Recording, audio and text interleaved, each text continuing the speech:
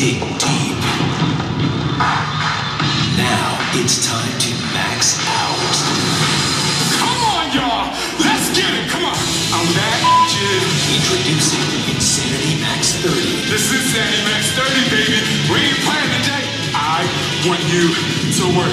It's only 30 minutes of your life. It's not just a 30-minute workout. Your goal is to max out. There's a lot of people going to the board right now. That means people are maxing out. Just go as hard as you can for as long as you can. When you need a break, you've maxed out.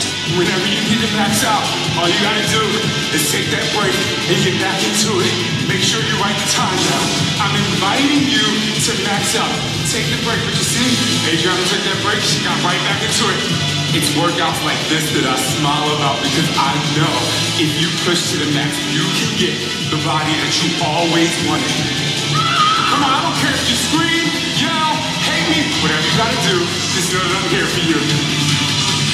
150 all moves. Here we go. Wide in and out, ab, shoulder tap, hop, hop, squat. We're going into the slalom. Ab attack, straight leg kick. No equipment. It's about using your body to get results. No weight and no equipment, but the equipment in your mind your body to work. Let's go. Low impact modifier. Danielle's here. She's modifying. Progress and constantly push. Come on, how you feeling? This is crazy. Come on, you can do it. It's crazy, but you can do it. The hardest 30 minutes of your day. Do you see this? This is work. This is all the blood, sweat, and tears you put into this fight. The most insane results of your life. It's only 30 minutes, and you're gonna love your body. Five seconds. Come on. Five, four, three, two, max out. You reached your max. You do that every day. This will push you to limits beyond anything you've ever imagined. When you hit that 30 minute mark, you'll feel a sense of accomplishment you didn't know existed.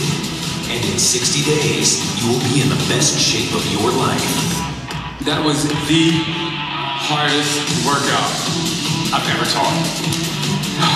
Insanity Max 30 coming to your home this December.